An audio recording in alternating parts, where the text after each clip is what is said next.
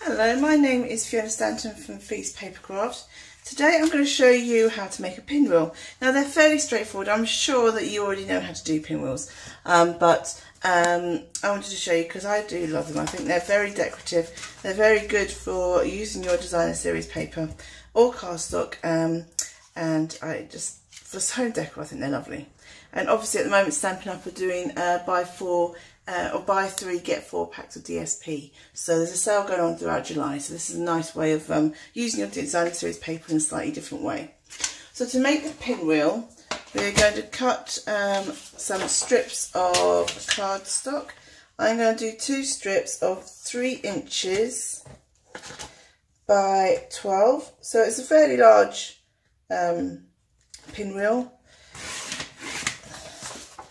I'm going to do two strips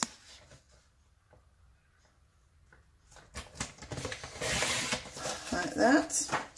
Take that away.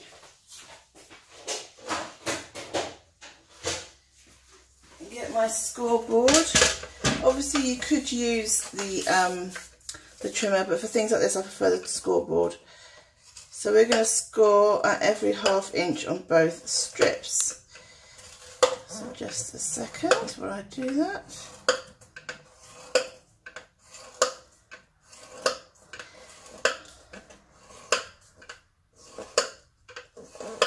Like this scoreboard because you've got the grooves down here so you can find oh, exactly the right groove that you want, she says, making a mistake. Typical, isn't it? Uh, don't press too hard because it is a design series paper, the standard um, paper, so that you will tear if you, if you um, press too hard. Always make sure it's buttered up in the top um, left hand corner there.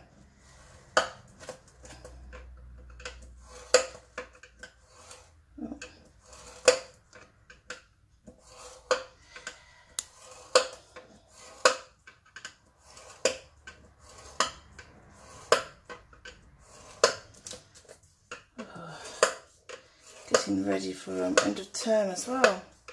It's a little bit manic here.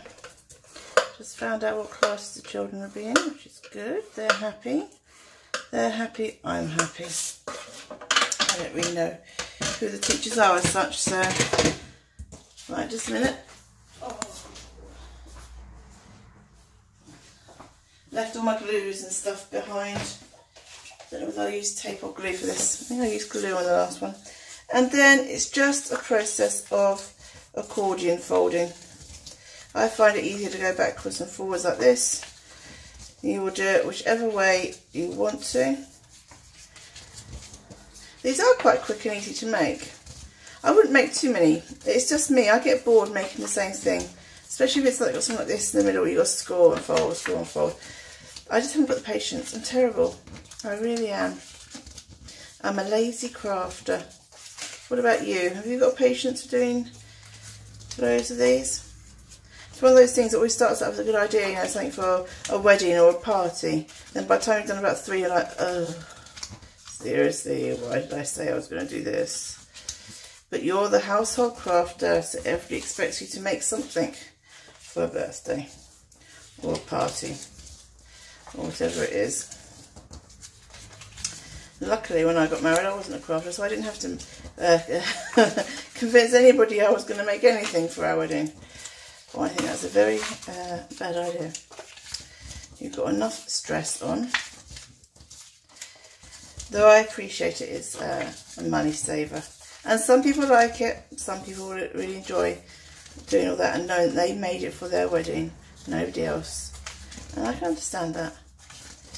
But, um, yeah, I'm not like that, I have to say. Right, so now we've got that far, we're going to join these two bits together. I'm going to slot them in like that. Okay, so I will just use a little bit of glue, I think, for this rather than tape.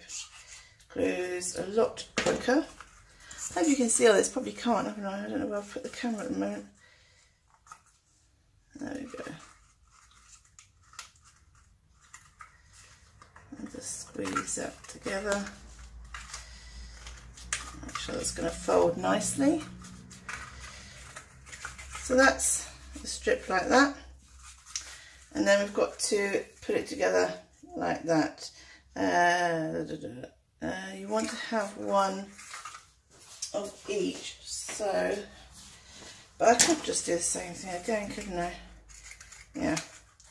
They say you want to have one valley fold and one mountain fold, so technically you should cut a bit off, but I don't. I just put, I just slot it in like a zigzag like that, and that works for me. So let's uh, do that. Okay. Now then, while that is um, setting, I'm going to cut the decorative elements out. So first of all, I'm going to cut um, some circles that will go on top.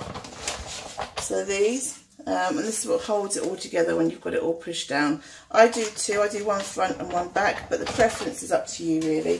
Um, I'm going to get that cast off again. I'm going to do a scallop circle. Let's just measure which one I use.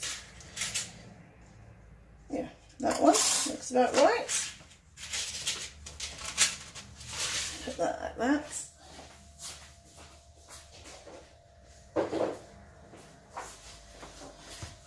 The good thing about this designer series paper is that it um, has two sides to it. So we can use one side on one side and the other side on the other side. Or we could use both the same. It really is up to us. I'll have a think about it.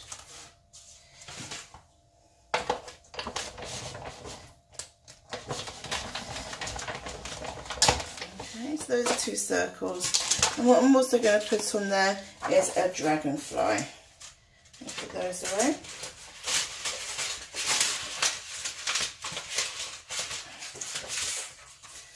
I'm going to use a different cardstock. It's from the same uh, pack, which is the Sea of Textures.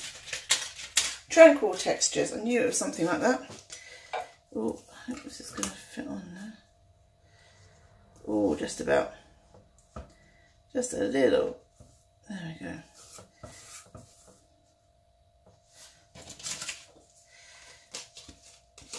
Oh, it's not that one I want. Do, do, do. I'll put them both in there.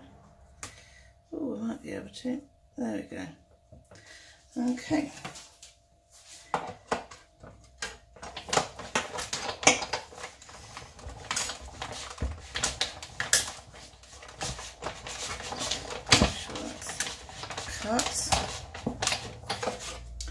that one will be cut, it's whether this one has cut. Uh, that made no sense whatsoever to do. This one is cut, but that one might not. So just check. Yeah, that looks like it's cut. It's with it's the fine details, always a little bit more tricky to do. Let's get that out of the way. So, so we're going to use that that side maybe. Let's see. What do we fancy? What do we fancy?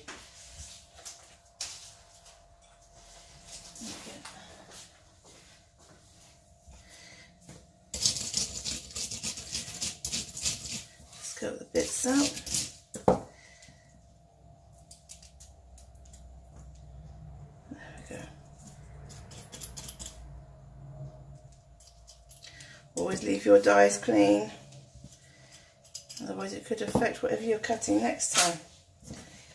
So those away. Not doing too badly here. That out the way. Let's see. Which way do we want this? Or do we want it like that? What do we think? I think I quite like it like that actually. I prefer it that way. So let's glue our dragonfly together. This is from the Detailed Dragonfly Dies and it's from Stampin' Up. There is a stamp set that uh, coordinates with it. I think it's called Dragonfly Dreams. Um, have a look in the catalogue for that. So that will go,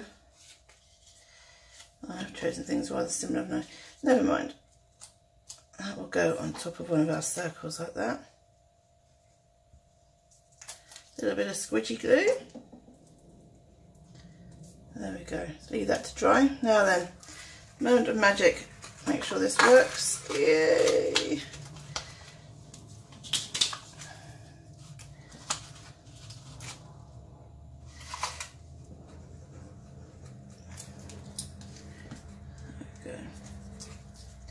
Make sure you put plenty of glue on. It's only going to touch a few areas. The top, obviously the glue is only going to get in contact with the top areas. So whatever you do, make sure you've got plenty of glue. I know what I wanted to do with that actually. I wanted to cut a bit of ribbon. Let me just put that on top of there for a minute. Find something to put down on it. So this is just the um, classic weave ribbon in white. Was going to do, which I forgot, because I was rushing as always. Oh, well, there you go, it's pinged up, pinged up for me anyway. Put that in there first of all. And then, of course, what I always forget is this is a circle, so it doesn't matter actually where things go until the last moment. Because it's a circle, so everywhere could be up, couldn't it? Okay, this is where I use two. Put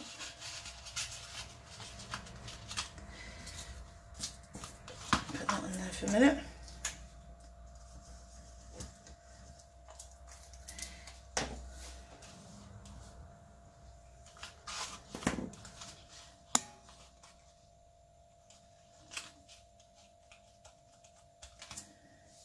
Right, so we're just going to hold this. Well, actually, what I'm going to do put my tape on it to hold it down.